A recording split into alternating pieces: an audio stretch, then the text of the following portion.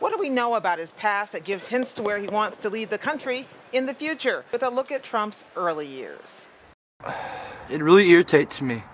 South Park would say that red haired people don't have souls, okay? Because we do. We do have souls, alright? And lately I've been being called a ginger. A fat ginger. By everybody at school. And it really hurts my feelings. It pisses me off! I consider ginger a very slanderous word. Demeaning word. And I'm tired of it. Gingers have souls! I go to church. I'm a Christian. You don't know me. You're not God. You're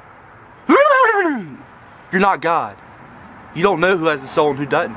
Alright? I'm a Christian. For real.